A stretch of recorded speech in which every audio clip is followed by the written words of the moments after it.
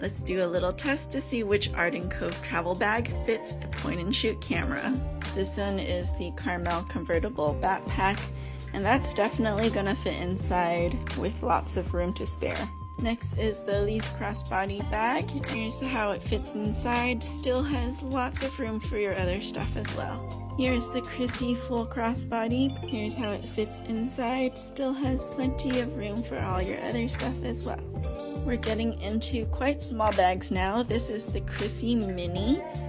So I can fit it in horizontally like this to sort of have half the bag still free for my other stuff and I'd say that is probably the most efficient way to put it in this bag.